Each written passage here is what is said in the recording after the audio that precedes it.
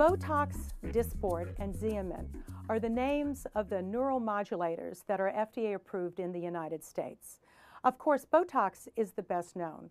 Botox was FDA approved in 2002, and it really caused a revolution in non-surgical rejuvenation. What Botox does is it relaxes key muscles that the doctor identifies as being overactive.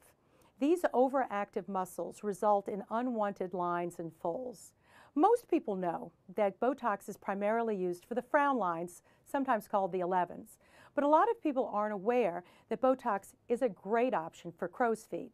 In fact, I did the FDA study for approval for Botox for the crow's feet. In addition, we use Botox in the forehead lines, and we also use Botox in key, very minute areas around the mouth to soften a dimpled chin and even to diminish jowling around the mouth and to improve neck banding. So Botox, Dysport, and Xeomin are a lot versatile than most people are aware of.